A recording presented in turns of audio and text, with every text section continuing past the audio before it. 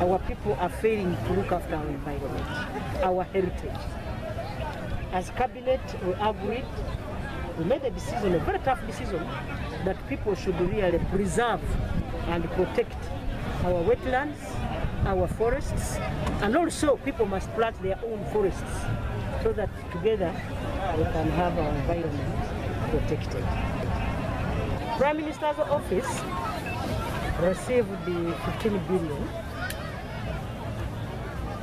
As senior top management, we agreed uh, to use 10 billion to distribute food relief and other food items. We also agreed to help those people who have been having issues for quite some long time, like landslides, like uh, floods. So we agreed to use part of that money to work on the flood, flood affected areas.